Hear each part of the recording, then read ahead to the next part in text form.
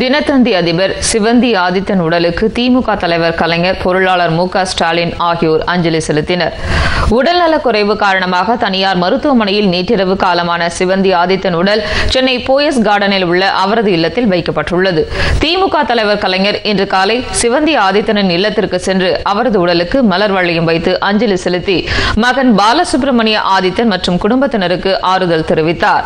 திமுக பொருளாளர் மு க ஸ்டாலின் மற்றும் Duraimurugan T R Baalu A Raja ஏவா வேலு பொன்முடி அனிதா ராதாகிருஷ்ணன் சுரேஷ் ராஜன் பூங்கோதை நாடாளுமன்ற உறுப்பினர் கனிமொழி திருமதி ராஜாத்தி அம்மாள் ராதிகா செல்வி எஸ் பி சர்க்குண பாண்டியன் உதயநிதி ஸ்டாலின் முன்னாள் மேயர் மா. சுப்பிரமணியம் ப. ரெங்கநாதன் உள்ளிட்டோரும் சிவந்தி ஆதித்தனுக்கு அஞ்சலி செலுத்தினர். சிவந்தி ஆதித்தனின் மறைவு பத்திரிகை உலகிற்கும் விளையாட்டுத்துறைக்கும் பேரிழப்பு என மு க ஸ்டாலின் கனிமொழி ஆகியோர் தெரிவித்தனர். பத்திரிகை உலகில் ஒரு ஜாம்பவனாக விளங்கிய திரு சிவந்தியாயத்தினுடைய மறைவு ஈடு செய்ய முடியாத ஒரு மாபெரும் இழப்பாகும். அவரை இழந்து வாடிக்கொண்டிருக்கக்கூடிய அவருடைய அருமை திருமகன்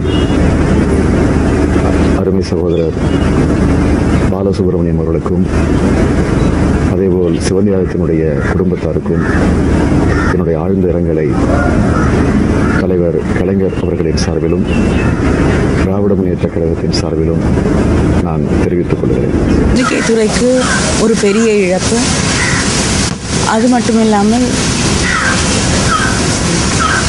விளையாட்டுத்துறைக்கும் ஒரு பெரிய இழப்பு. எத்தனையோ வீரர்களை ஊக்குவித்து இங்கே இருக்கக்கூடிய விளையாட்டு துறைக்கும் பல விதங்களிலே உறுதுணையாக இருக்கக்கூடியவர்.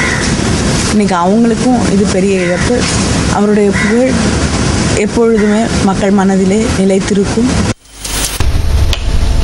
நடிகர்கள் ரஜினிகாந்த் விவேக் அஜித் நடிகைகள் ஷாலினி குஷ்பு இயக்குனர்கள் Sundar C S P Muthuraman T Rajendar Bala திரைப்பட இசையமைப்பாளர் இளையராஜா ஏவிஎம் சரவணன் அபிராமி ராமநாதன் மற்றும் தேமுதிக தலைவர் விஜயகாந்த் மத்திய அமைச்சர் ஜி கே வாசன் தமிழ்நாடு காங்கிரஸ் தலைவர் ஞானதேசிகன் முன்னாள் தலைவர்கள் குமரி அனந்தன் தங்கபாலு எம்ஜிஆர் கழக தலைவர் ஆர் எம் வீரப்பன் மற்றும் முன்னாள் மத்திய அமைச்சர் சு. திருநாவுக்கரசர் பீட்டர் அல்போன்ஸ் பாரத் பாரதிய ஜனதா தேசிய செயலாளர் தமிழிசை சவுந்தரராஜன் புதிய தமிழகம் தலைவர் கிருஷ்ணசாமி மார்க்சிஸ்ட் கம்யூனிஸ்ட் மாநில செயலாளர் ஜி ராமகிருஷ்ணன் சிவந்தி ஆதித்தனின் மூத்த சகோதரரும் மாலை முரசு அதிபருமான ராமச்சந்திர ஆதித்தன் மற்றும் பல்வேறு அமைப்புகள் அரசியல் கட்சிகளின் தலைவர்கள் நிர்வாகிகள் பத்திரிகையாளர்கள் சிவந்தி ஆதித்தனுக்கு அஞ்சலி செலுத்தினர்.